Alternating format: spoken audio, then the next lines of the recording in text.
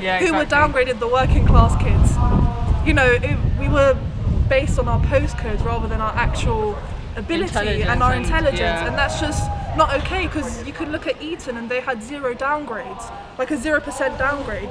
Some kids even got upgraded, and so it's just like they dealt with it awfully. Yeah. But this is great news. So, Yeah, exactly, yeah. I don't. It's like a mixed mixed feelings. So yeah.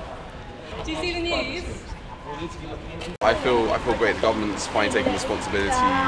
They should have done weeks ago. They are owning up to their mistake and uh, they're going off teacher assessed grades, which is the fairest way without making them feel like they've lost faith in the system.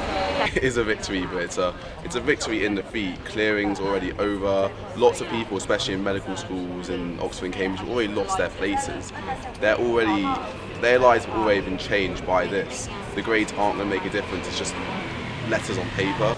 I was downgraded um, in two of my A levels, and so now that's gone back up, and I can get into uni, into my firm, and not just my insurance. Um, so yeah, and I'm going to like one of the best architecture unis. So it's like it's, it's just amazing. Like I don't even know how to put it into words. Yeah. I was predicted ABB, but I got BBC, and so that mean that meant I couldn't study the course I wanted to. Um, I was one of the lucky ones though because I got on offer at the same uni but for a different course. But I'm hoping now that they've been reversed that I can actually get onto the course I wanted to do.